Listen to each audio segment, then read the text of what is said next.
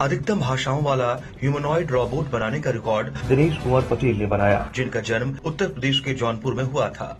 उन्होंने अपशिष्ट पदार्थों का उपयोग करके कृत्रिम रूप से बुद्धिमान सामाजिक और शैक्षिक रोबोट शालू बनाया जो नौ भारतीय और अड़तीस विदेशी भाषाओं समेत सैतालीस भाषाएँ बोल सकती है।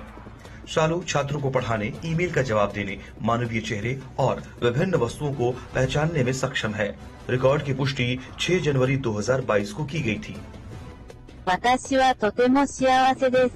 あなたのように、ありがとう。